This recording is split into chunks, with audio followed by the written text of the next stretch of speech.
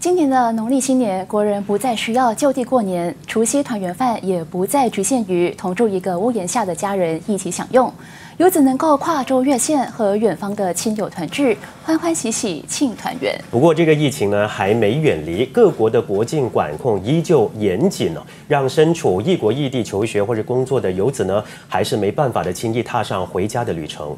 是的，独在异乡为异客，每逢佳节倍思亲。承载着人们对团圆念想的除夕夜，如今更是背负了无数人的思乡情怀。今天的牛词一年狐狸全开专题，就一起听听游子们心中的那首思乡曲。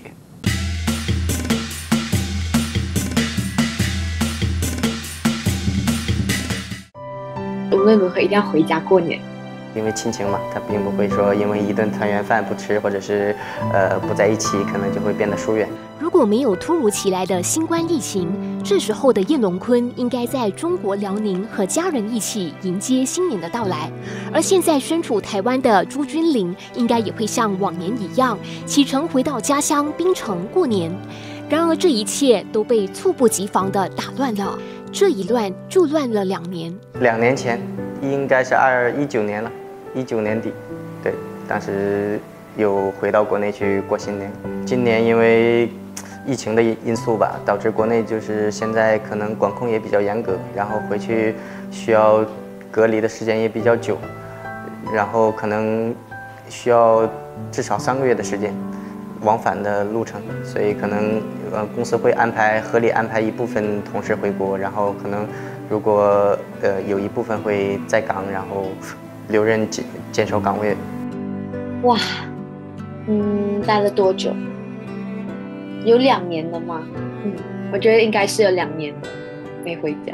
其实最大的原因是因为就是防疫规范，就是像是台湾蛮严格的，然后你回来之后你要十十四天就是在旅馆里面隔离，然后七天就是自主隔离，那加起来就二十一天。那 我的假期只有九天。你好，你也好。千里之外，如此想要团圆，也只能隔着手机屏幕和家中亲人联系。虽然无法团聚，但是至少让家人看见自己安好，对彼此都是一种慰藉。只是在万家灯火的团圆夜被迫缺席，心里难免感到遗憾和愧疚。我的孩子是去年的二月份出生的。当时也是因为疫情的因素，导致没能及时的回去，然后后来是十月份的时候回去回去过一次。说实话，真的是很辛苦，因为毕竟大家都是初为人父人母，可能也不是说特别会照顾孩子，但是可能因为我也不在，他自己一点一点的学会了怎么去照顾孩子，怎么去喂养孩子，然后生活上一些琐事很多。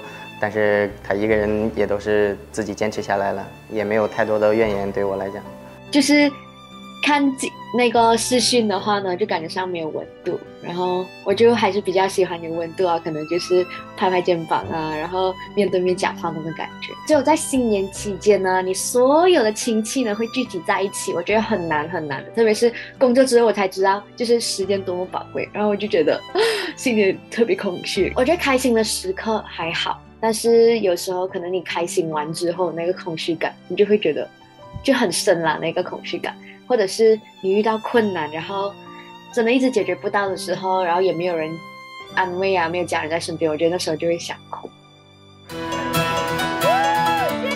虽然错过了今年的除夕团圆，但游子心中还是充满期盼，希望不再缺席明年的新年，好好弥补不能和家人团聚的遗憾。新年快乐！呜呜呜！明年给自己的目标是无论如何一定要回家过年。我只是想要就是跟家人一起吃饭，就是可能我下厨，或者是我们出去外面，然后我请大家吃饭这样子。毕竟我在这里，我我觉得我学了几个拿手好菜，然后我想要就是煮给我家人吃。希望在明年的新年，可能我们一家人可以开开心心、团团圆圆的在一起。不管在马来西亚还是在中国，嗯，我们的心都是在一起的。因为亲情嘛，它并不会说因为一顿团圆饭不吃，或者是呃不在一起，可能就会变得疏远。因为这个亲情的是，呃，没法割舍的一种关系。